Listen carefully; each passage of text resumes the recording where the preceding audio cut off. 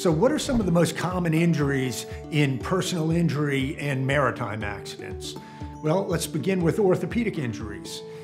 Orthopedic injuries in those types of claims would include injuries to your extremities, your shoulders, your knees, your wrists, your ankles, your feet.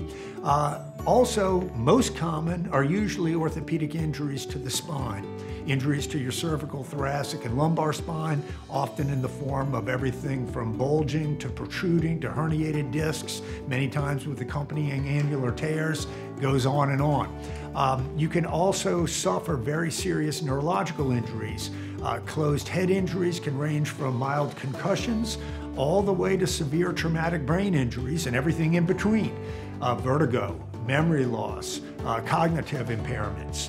Um, if you have questions about your injuries, chances are we have helped someone just like you hundreds, if not thousands of times already. We're available around the clock to speak with you at 1 800 Trial Pro or chat with us through our website at trialpro.com.